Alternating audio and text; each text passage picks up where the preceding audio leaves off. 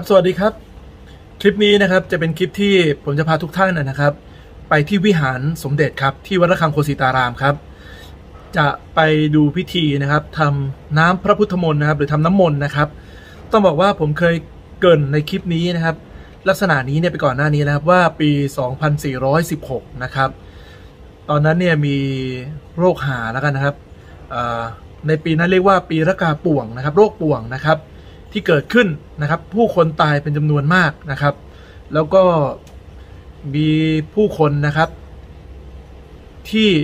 เจ็บป่วยนะครับ มหาศาลเลยนะครับ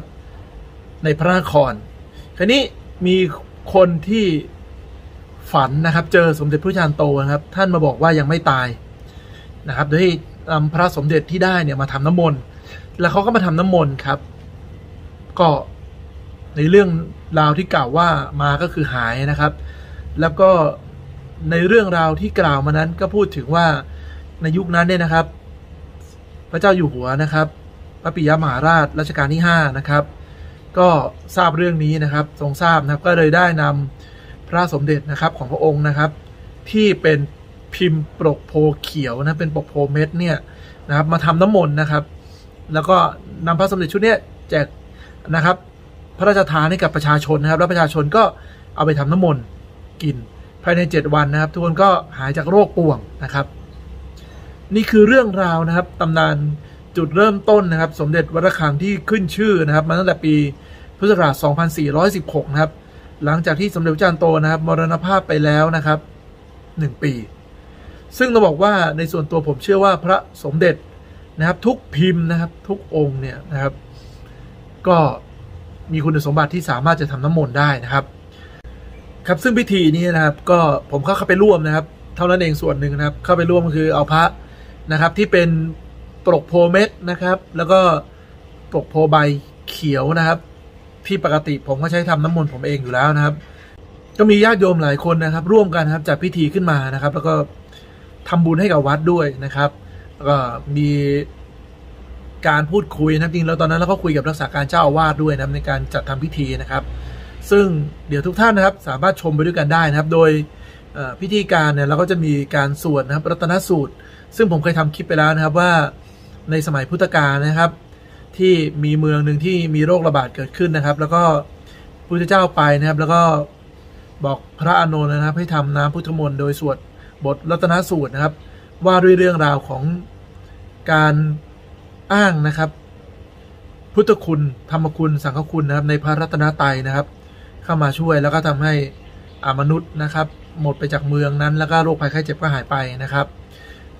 ส่วนหนึ่งก็มีคาถาชินบัญชรด้วยนะครับ โดยที่เป็นพระที่วัดระฆังนี่แหละครับ ในการทำพิธีนะครับ ก็เดี๋ยวเชิญทุกท่านนะครับ เข้าไปชมในพิธีครับนะครับ เริ่มต้นนะครับวันนั้นเนี่ยช่วงเช้านะครับก็ผมก็ทำการนะครับ นับจำนวนพระนะครับองค์สีเขียวนะครับที่จะใช้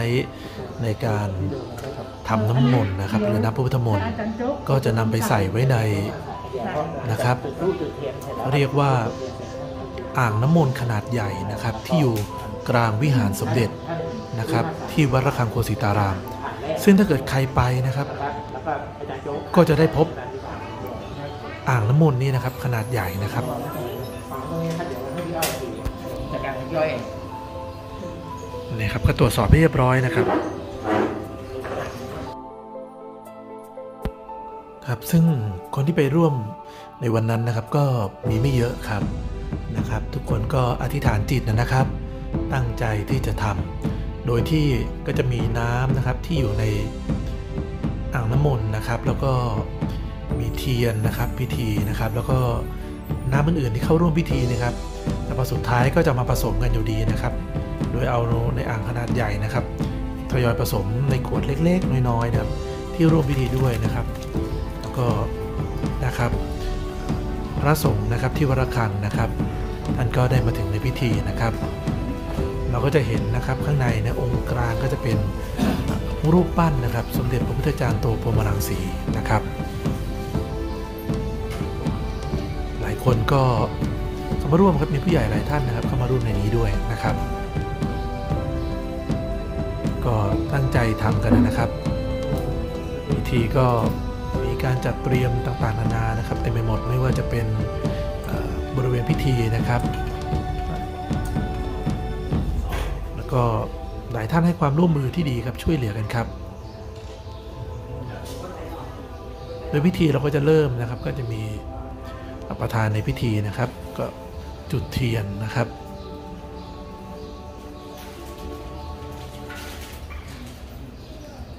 แล้วก็จะตามมาด้วยการจุดเทียนนะครับ บริเวณ อ่างน้ำมนต์นะครับ ซึ่งก็จะเป็นอ่างที่มีประจำอยู่ในนี้อยู่แล้วนะครับ แล้วก็นะครับมีร่วมด้วยผู้ใหญ่หลายท่านครับ ก็ได้นำพระนะครับผ่านนี้ก็จะมีพระของพี่อ้อยเป็นหลักนะครับ ร่วมในการทำน้ำมนต์ด้วยนะครับ เป็นพระมีทั้งพิมพ์ใหญ่พิมพ์พระประธานสีเขียวนะครับจากนั้นก็เป็นผมเองครับในพานนี้ก็จะมีของผมสององค์นะครับ ที่เป็น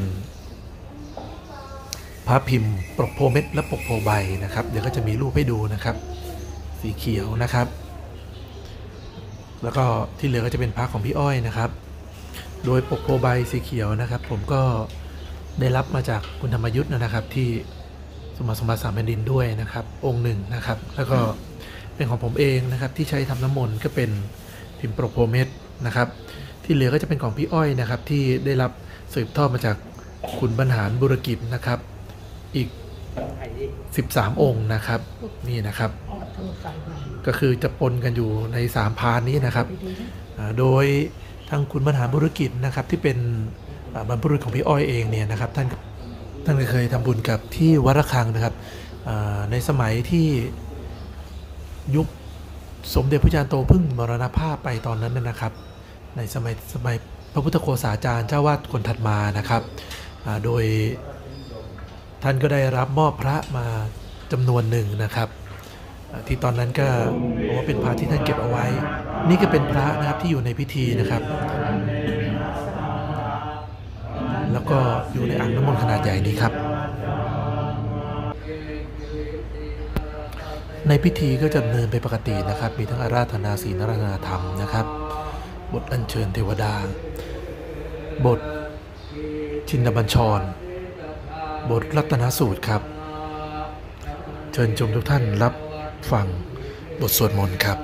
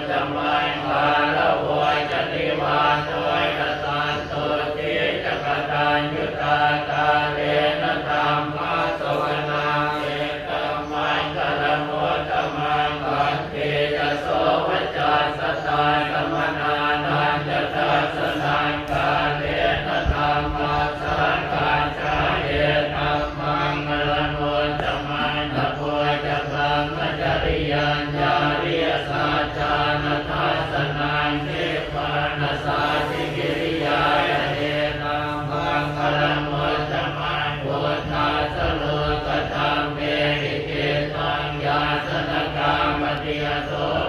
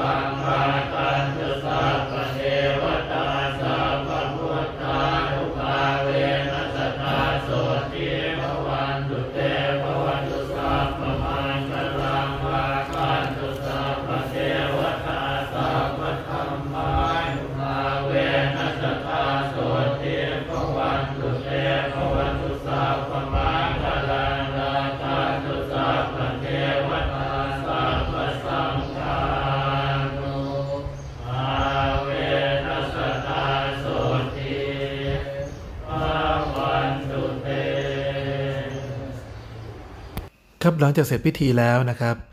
ทางพี่อ้อยเองนะครับ ก็ได้ให้ผมนะครับมอบพระพิมพ์สมเด็จเขียวนะครับ ทั้งหมด 4 องค์ให้กับรักษาการเจ้าอาวาสในขณะนั้นนะครับ เพื่อให้ท่านได้มีโอกาสได้ใช้ในการทำน้ำมนต์ในครั้งต่อไปนะครับ มีนะครับเอาให้เป็นสมบัติของวัดละคังเลย ครับก็ต้องกราบขอบพระคุณนะครับ ท่านรักษาการเจ้าวาดนะครับพระเทพประสิทธิคุณนะครับ ที่ท่านอนุญาตนะครับ แล้วก็อำนวยความสะดวกให้ได้จัดพิธีพระพุทธมนต์ทำน้ำพุทธมนต์ในวันนั้นนะครับ ครับในวันนั้นเองนะครับทางพี่อ้อยเองก็ได้นะครับนอกจากจะถวายปัจจัยให้กับพระแล้วนะครับ ก็ถวายนะครับ พระสมเด็จที่เป็นเนื้อเขียวนะครับ ให้กับท่านรักษาการเจ้าวาดนะครับ ไปทั้งหมด 4 องค์นะครับ เพื่อให้ทางวัดเนี่ยในอนาคตถ้าอยากจะทำพิธีทำอะไรก็สามารถที่จะทำเองได้สืบต่อไปนะครับ โดยลักษณะนี้ก็คือพูดง่ายครับ ทั้งหมดนี้ก็คือทำเป็นวิธีเพื่อเป็นสิริมงคลนะครับ แล้วก็นะครับในช่วงเวลาที่เราพบกับโรคภัยไข้เจ็บในแบบนี้นะครับ แล้วก็มีการทำซึ่งทั้งหมดนี้มันก็เป็นเรื่องของขวัญและกำลังใจนะครับ ก็ ท่านใดนะครับที่สนใจนะครับ ผมก็จะขึ้นเบอร์ติดต่อนะครับของพี่อ้อยนะครับ ไว้ให้นะครับ แล้วก็บุคคลที่เกี่ยวข้องนะครับ ถ้าท่านใดสนใจที่จะร่วมบุญโครงการนี้นะครับ หรือสนใจนะครับน้ำมนต์นั้นก็ลองติดต่อกันดูนะครับ ในส่วนผมเองเนี่ยผมก็ ถือว่าเอาเรื่องราวนะครับที่มีการเคยทำมาก่อนนะครับ ในเรื่องของการทำนักษาสิริมงคลนี่แหละนะครับ แล้วก็ได้นำส่วนหนึ่งเนี่ยก็เป็นพระผมเองนะก็มาร่วมพิธีด้วยนะครับ ก็ในวันนั้นเนี่ยญาติโยมที่เขามาทำนะครับมีการแจกจ่ายน้ำมนต์กันไปนะครับ ให้กับทุกคนที่มา แต่ก็ไม่ได้มาเยอะครับนะครับ ก็มีไว้ให้ที่ทางวัดด้วยนะครับ แล้วก็มีการมอบพระให้กับทางวัดด้วยนะครับ ก็ถือว่าเป็นครั้งหนึ่งนะครับที่มีโอกาสได้ทำนะครับร่วมพิธีทำน้ำพระพุทธมนต์นะครับ ซึ่ง เหตุการณ์นี้ก็จริง ๆทำให้เดือนสิงหาแล้วนะครับนะครับ ก็ได้ท่านได้ชมคลิปนี้แล้วก็ถือว่าในเอาคลิปเอาบุญนะครับ มาฝากท่านนะครับ ใครที่มีอยู่ที่บ้านนะครับ ก็อาจจะสวดมนต์นะครับแล้วเปิดคลิปบางส่วนนะครับ ไปพร้อมกันก็ได้นะครับจริงท่านสวดเองก็ได้นะครับสวดจินบัญชรนะครับรัตนสูตรอารัธนานะครับ คุณพระพุทธพระธรรมพระสงฆ์นะครับนะเป็นพระรัตนตรัยทั้ง 3 แล้วก็ คาถาชินบัญชรของสมเด็จพระจารย์โตนะครับ ท่านก็สามารถทำได้ ซึ่งทั้งหมดนี้นะครับเป็นเรื่องที่ขึ้นอยู่กับความเชื่อส่วนบุคคลแล้วก็ขวัญและกำลังใจนะครับสำหรับผมเองก็คลิปนี้นะเป็นคลิปแบบสบายๆนะครับนำบุญมาฝากแล้วก็นำเสนอให้ทุกท่านได้รับได้ชมนะครับ เพียงเท่านี้นะครับ ยังไงก็ต้องขอขอบคุณทุกท่านมากนะครับ ที่ติดตามชมนะครับและหากสนใจยังไงท่านเรื่องน้ำมนต์ท่านก็ติดต่อตรงไปกับพี่อ้อยได้เลยนะครับ โอเคครับ ขอบพระคุณมากครับ สวัสดีครับ